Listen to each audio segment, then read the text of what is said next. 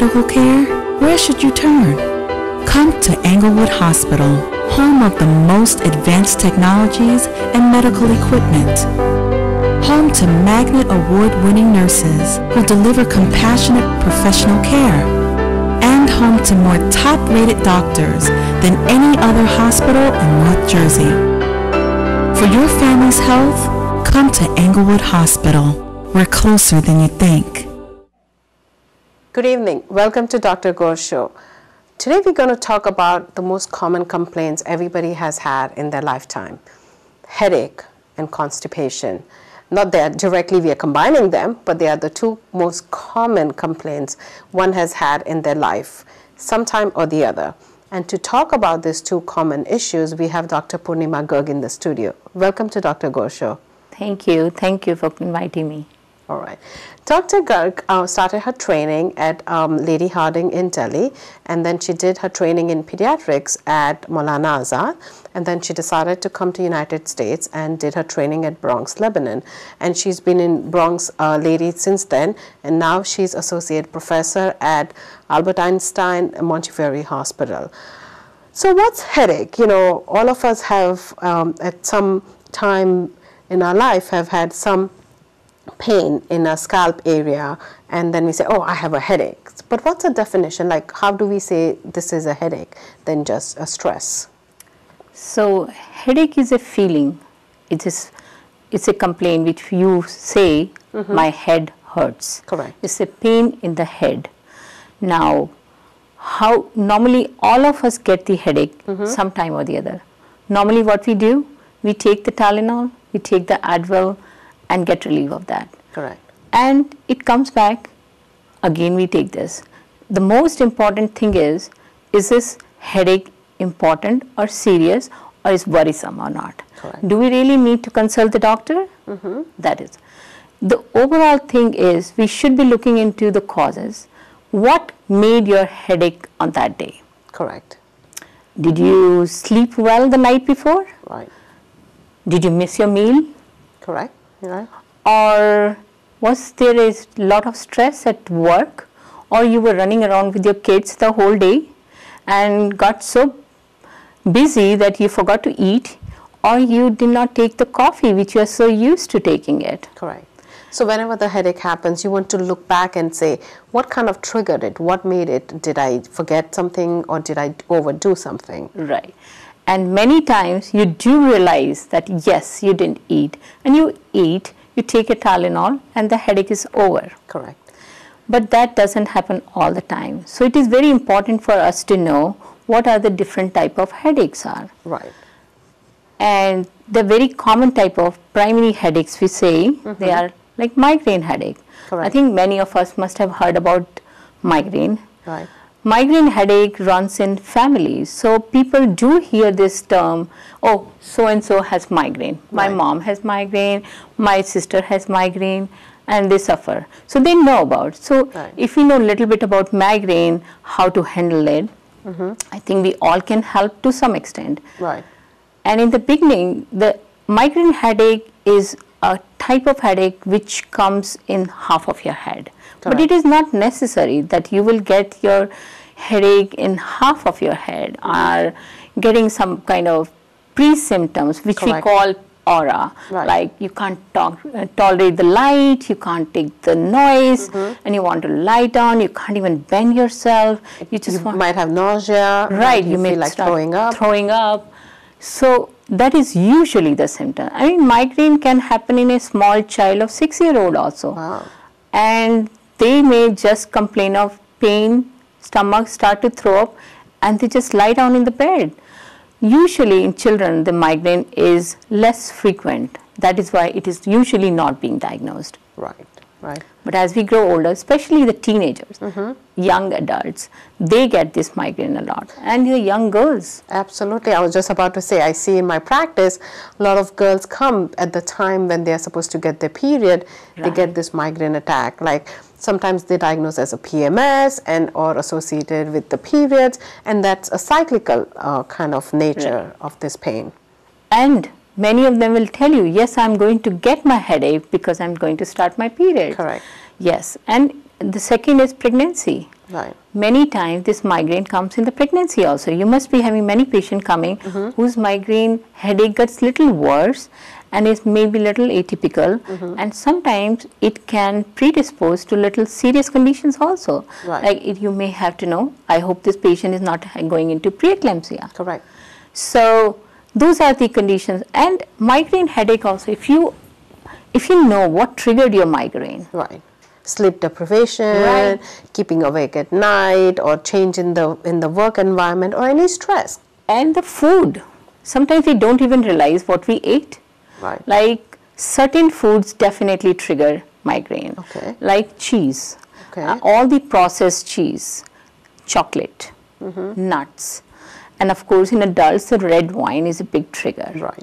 so there are certain foods you can avoid so if you know your trigger or you are out in the sun Right. for long time or very hot sun humid environment And you're dehydrated. You're Yes standing in the sun for a long time. it can sleep deprived as you rightly said. So these are the triggers. Once we identify i'm going to get my di- migraine mm-hmm. if i do this. Mm-hmm. You know many of the food have got msgs mm-hmm. and they are well known to trigger the migraine. So reading the ingredient looking at this what all it contains i think is very important to help us not to get the migraine attack.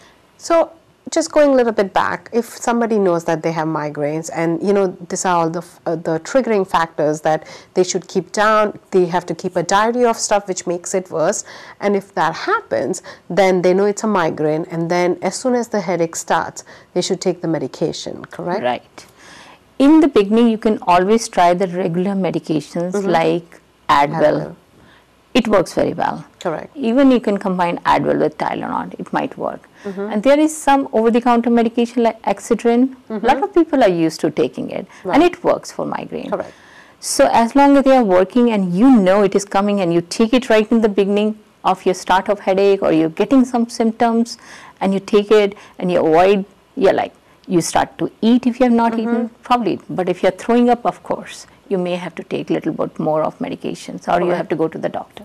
So that brings us to our next question that if you know that you have migraines and you know this worked before but now it's not working or they are coming more frequent, right? Maybe that's the time they should look into that maybe this is the time now to consult my physician because now it's associated with such a severe headache or now I can't see some you know I have some visual impairment or I have this severe headache associated with vomiting I can't keep anything down. Um, so when do they consult physicians? as you rightly pointed out, these are the times you need to consult the doctor. If the your headache is coming too frequently, your headache is different from before, Right. not getting better with the routine medications you were ready, or you have certain symptoms like you said, you cannot see or you feel that something is changing, your Blurry eyes vision. blurry vision is there, or you feel start to feel weakness in any part of the body. Right. These are the symptoms which should alert you. These are called red flags, means you should definitely make an appointment and see the neurologist. A neurologist will definitely go over all the things. It is not necessary mm-hmm. to have the imaging like the CT scan or the MRIs mm-hmm. because a neurologist is going to go over mm-hmm. in detail about your History. head history and actually will take all detail. Like it is not uncommon to see that you can hear somebody saying, "Oh, when my migraine come for a for a second, I can't see," Correct. or It's a temporary. right, or I can't speak for a second, or I feel I cannot use my move hand. my hand. Yeah, but this is, and then it, everything goes away. So you, this kind of history, when you give to your doctor, will definitely know this is not something serious which is coming from your brain, Right. or there is a something which need to be worked out with the special test like the CT or the MRI Right. because ultimately it is the worry what we have is is there something growing in my brain that Absolutely. or we are missing something which can be very serious so yes so consulting the doctor is very important and the second advantage is when your headache migraine headache is really bad and is coming too frequently we do have medications which can prevent you from getting migraine Correct. called So- prophylactic medication So there's two kind of treatment for migraines. Um, one during the attack to make the attack either um, last for a shorter period and less intense, and then there's something else to prevent this attacks Mm-hmm. Right, from coming. exactly. So one has to know what diagnosis they have, so that treatment is accordingly made to prevent this from coming. So, broad category have to what are the medication during the attack that they can take, and what are the preventive medication they have. So, as we said, over the counter medication, Mm-hmm. after that, there are special medication called triptans. Mm-hmm. People might have heard of Imitrex. I mean, there are many different type of that. You don't need to learn all the names, Mm-hmm. Correct. but these will be the special medication. And the, your doctor will tell you when to take it. Earlier you take it, like when you get the Nip it in the bud. Yes, right there and then. And since you can be in a state when you cannot take anything by mouth, you might be throwing up. Correct. Then there are alternatives. The same medicine comes as an injection form mm-hmm. and it comes as a nasal spray.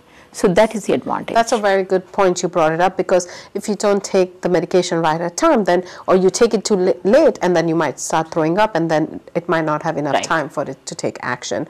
Um, also, caffeine is, is is a good choice of medication, it, like which is not a medication but something that people Yeah. can take. I think there is a medication, uh, Excedrin has And, uh, uh, ca- caffeine in it. right. And that, That- tends to help some people. Right. And as we said, if you know your trigger factor, you know you're going to be up, you know, you're traveling someplace or you have a big assignment, start taking the medication as soon as you feel.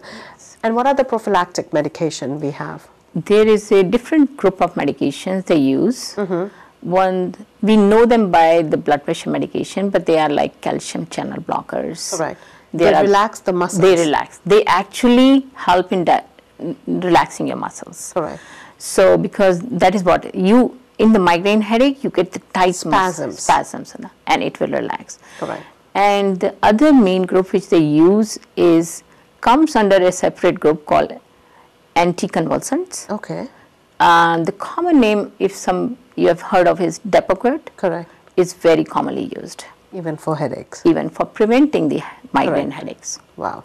So, um, so far we've learned that uh, people can get cyclical or triggered headaches, which are the migraines, and there's a treatment for pre- preventing them. And when you have one, what to do. And the red flag, as we said, if the headaches don't go away or there's change in the severity associated with severe vomiting, which you never had that before, or neurological problem, which is not going up, it's not lasting for a few seconds. Now, apart from migraines, people do get sometimes what we call as tension headaches, or they have headaches in the temporal area. Uh, maybe sometimes their uh, eyeglasses numbers have changed, and that's giving them headache.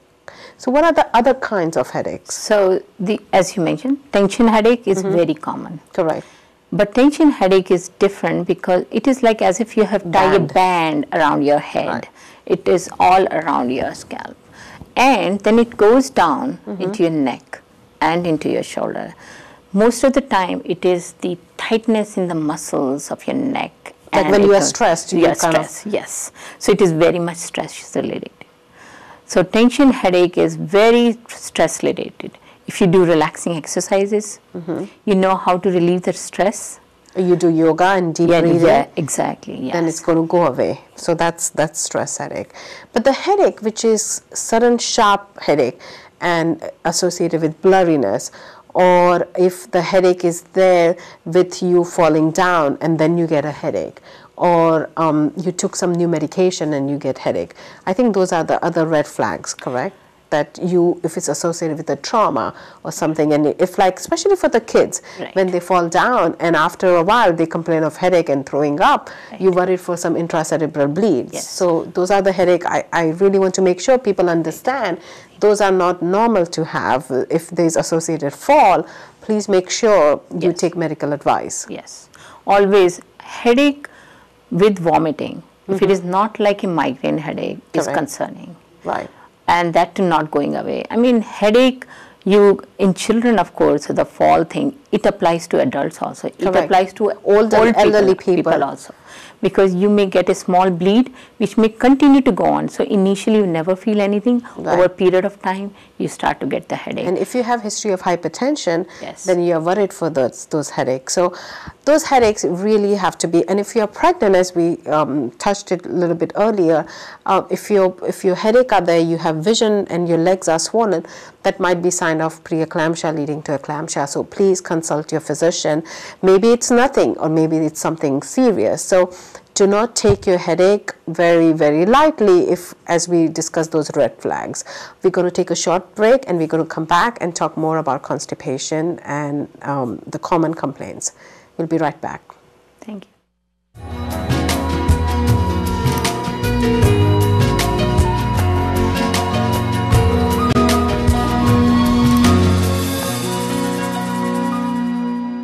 When your family's in need of medical care, where should you turn? Come to Englewood Hospital, home of the most advanced technologies and medical equipment. Home to Magnet Award winning nurses who deliver compassionate professional care. And home to more top rated doctors than any other hospital in North Jersey. For your family's health, come to Englewood Hospital. We're closer than you think. Welcome back to Dr. Gor's Show. So we have Dr. Purnima Garg uh, from uh, Montefiore Hospital, Albert Einstein College of Bronx, New York. You know, not every constipation we have to worry, correct? So how does, a, like if it happens once in a while, how we can prevent it? What are the home remedies that we do for constipation? Before we go over the remedies, I think it is important to see what causes, Causes of course, So, like if you have changed your diet, correct. what you used to eat, now you are so busy, you are taking all the Refined fast food, food. refined food, processed food, fast food, not eating any of the fiber, no mm-hmm. vegetables, you change your diet. Or you're not taking enough fluids, like what, not Right. drinking water at all. Or you are kind of not able to sleep or take rest, or you are too stressed. All these things, as we were talking in the headache, mm-hmm. works for the same as constipation. Constipation. So, really, we need to look into are you taking some medications which might be contributing to this? Not only the prescription medication, just over the counter medication, which almost everybody takes, like vitamins. Correct. Like vitamins have calcium, Mm-hmm. it has got iron, which are highly constipating. Correct. If you have just started it, that might be the That reason. might be the cause, correct. Of course, there are a lot of uh, prescribed medications which Mm-hmm. can cause mm, constipation, but these are, we are going to talk separately, which you may need to discuss with your doctor. But just looking at what are the possible reasons. Mm-hmm. So, once we identify, as you asked me, like what are the, how we can Correct. What are the home it. remedies? Right. So if you've changed your diet, make sure you increase the fibers. Make sure you add the fruits and Right. vegetables. There's, you need some roughage to have a nice soft bowel movement. Right. So that's one thing. If you've started a new medication, maybe change it, and maybe they might we might be able to give you a different vitamins Right. that might you know have some stool softeners or something different. So um, apart from those common causes, since we are talking causes, when do we have to worry that those might be the cause for the thing? So as you know, as we all know, if that constipation is alternating with diarrhea, or you have increased weight gain along with constipation, you're feeling depressed, maybe thyroid, right? And this is affecting. So when do we get worried? So, if you are constipated and you really felt that, yes, I know why I'm constipated, I try to do something and you change your diet, you change your style, lifestyle modification, you did everything and it doesn't get better. Correct. And it's almost like two weeks. You took some laxative also, which are over the counter, like you added some bulk laxative, Correct. you took some softener, but still not working. Right. That is the time to go to your doctor and say, this is the problem Correct. or your this came acutely and it's very bad doesn't get better that is a red flag Mm-hmm. if you have a lot of blood in the stool normally if you're constipated you can have some blood Some hemorrhoids and fissures, Right. right? If it's a hard stool. right but not that blood but more than that if it is Correct. coming out then you Or have to- dark stools, correct? The yes malignant. black stool is more important than Yeah, the internal fresh. hemorrhage can be a sign of internal hemorrhage. So if there's a black stool, we should Right. be worried about. as you mentioned, changing of the bowel habits. Bowel habit, like having constipation and then diarrhea. That is also a Correct. feature of underlying disease. Not only mm-hmm. cancer, but many of the other diseases we call inflammatory bowel disease can also be the Correct. cause. Many other diseases can, like hy- thyroid, you said, is mm-hmm. very common. We don't even suspect because you might have put on weight, but you didn't bother. Correct. Like, but now constipation is causing, and then you get your blood test done, and you get to know that you are having thyroid, which and- is a Exactly, it's such a common problem sometimes. Also, um, a sudden change in bowel habits associated with increased abdominal girth, feeling, you know, sometimes losing weight along with that. Yes. We worried about ovarian cancer because a lot of time ovarian cancer can produce the same way because they have alternating, you know, diarrhea, constipation, maybe just constipation because tumor is, is pressing on it. And that's sometimes the, the complaints we get, or like a lot of flatulence they mm-hmm. get, right. and, and that's how we look for it. So, as you rightly said, if it doesn't get better with your remedies and it's been two, three weeks and it's really bothering you, maybe it's time to talk with your doctor to look for underlying. And I will add like constipation when you start to throw up. You have to go to the emergency. Right. If you, if you exactly, if Yes. you the constipation is so bad, it's coming up. Maybe there's a, a spontaneous bowel perforations, Right. and there's some issue with your intestines, and Yeah. exactly there's twisting and turning, Right. especially when people have hernia. You know, a lot of times we've seen that that the the bowels get stuck, and then there's obstruction, so they can't pass anything Mm-hmm. Yes. One way, so they have to pass it the other way. And so if it's fever with vomiting and you haven't passed no gas or bowels for a few days, I think is really really high time that you have to go through the emergency room. So we've talked about the bad bad causes of uh, say constipation. Um, now when somebody comes to us. How do we kind of evaluate these things? Do we um, do the regular blood test? Do we need to send them to GI? Like, what makes us decide where do we traffic these people? So there are simple blood tests as for the thyroid. Mm-hmm. If you have some other disease like systemic disease, then you Mm-hmm. are testing for that. Like somebody already known to have some autoimmune disease, or Right. you're testing for that. And sometimes you make a test of the stool if there's blood in it, which is not being seen. Like a occult blood. occult blood. Right. And even making a rectal exam, which the doctor does in the office, is very helpful to know if there are stools sitting there or not. Correct. And then moving into the like after you have made the, some blood tests, you've done the physical exam, you do not feel anything in the belly, you're not having any stools in the rectum, then you can do a X-ray of the abdomen, Correct. which is also very simple test. You can do it and see maybe there is a higher up, there's something impacted up Correct. that is not letting it go. And I, I've heard so many stories of young girls. Um, you know, they had ha- this issue, they didn't pass. They did the X-ray of the belly. They had like impacted stools, and sometimes they needed enemas and you know bowel um, run-throughs, so the the bowels will pass because all these young kids are on a strict diet. They they just eat fibers. They just eat uh, no fibers, just refined foods, Yeah. and they get so badly constipated. And and a lot of time there is a drug abuse which can be associated, especially narcotics. Narcotics. Opioids are, are a really bad, um, you know, for your bowels because they'd reduce the Mm-hmm. bowel activity. So all those combines, a lot of times we see patients in the ER Right. with such an impacted. So I think you brought up a very good point. Simple X-ray of the abdomen is going to rule it out. Any perforations, any gas under the diaphragm, and and Any if there's a obstructions Yeah. and like you know air fluid levels, Mm-hmm. and if there's an impacted stool. So that's one of the ways we start looking into things. And if this is not still not helping us Mm-hmm. because patient is losing weight, cannot eat anything, then we have to refer them to the gastroenterologist. Correct. Gastroenterologist normally does. Um, there are different tests available, Sure. which they do. If um, they do colonoscopy, Correct. Colonoscopy is a test in which they pass a scope from the rectum Correct. and it is done under anesthesia. They prepare you. Mm-hmm. The bowels have to be prepared. They give you certain medication, mm-hmm. which is basically to clean your bowels. So Correct. the day before you take the liquid diet, mm-hmm. and then you take the preparation. The whole night you make the number of PMs. In the morning you are mm-hmm. clean, and then they put you to sleep. It's a very short anesthesia, and uh, they do the procedure. They go in from the rectum and they go all throughout your colon till the small intestine where they join. So that means they get to see everything. The advantage of this test is that you are relaxed, your bowel is relaxed, and they can manipulate it. They can look clearly.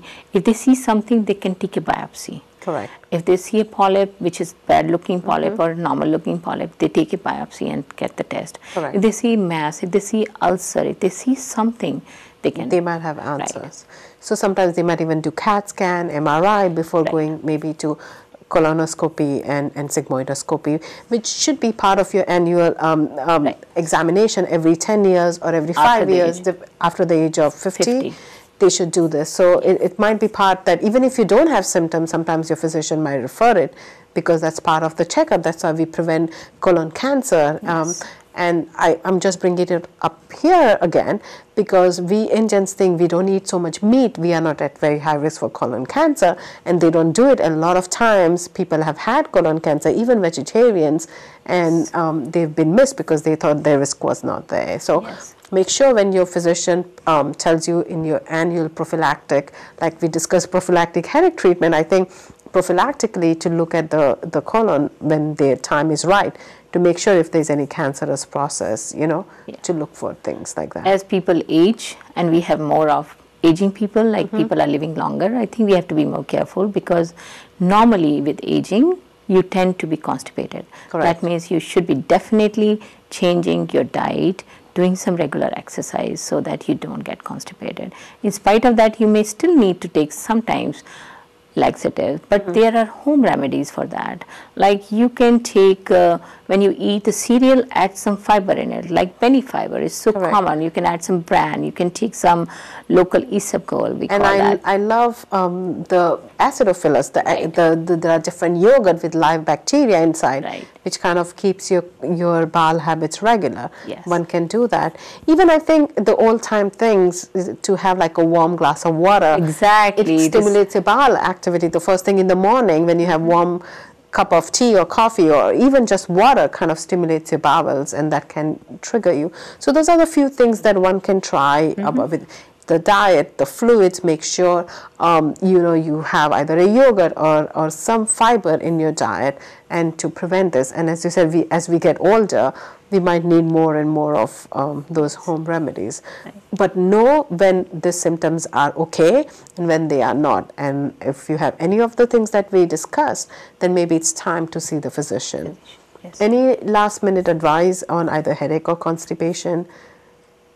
Yeah, basically, as we have already discussed, mm -hmm. that you can take care of the both things mm -hmm. yourself mm -hmm. up to a certain extent, and it's always good to take a preventive measures so that you don't get to that stage that you have to take special medicine or consult your doctor. Right. As long as you are taking the right diet, mm -hmm. you are mm-hmm. sleeping well, mm -hmm. taking the worries out, and doing some relaxing exercise, headache and constipation both can be taken care.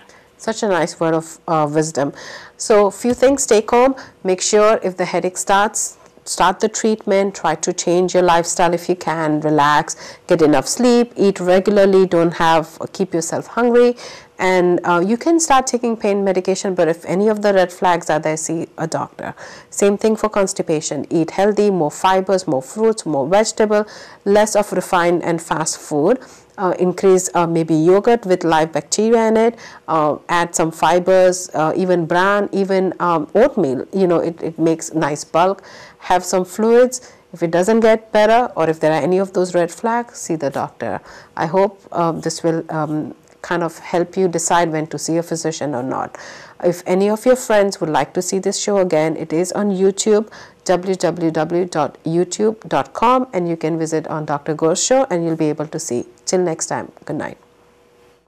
When your family is in need of medical care, where should you turn? Come to Englewood Hospital home of the most advanced technologies and medical equipment. Home to Magnet Award-winning nurses who deliver compassionate professional care. And home to more top-rated doctors than any other hospital in North Jersey. For your family's health, come to Englewood Hospital. We're closer than you think.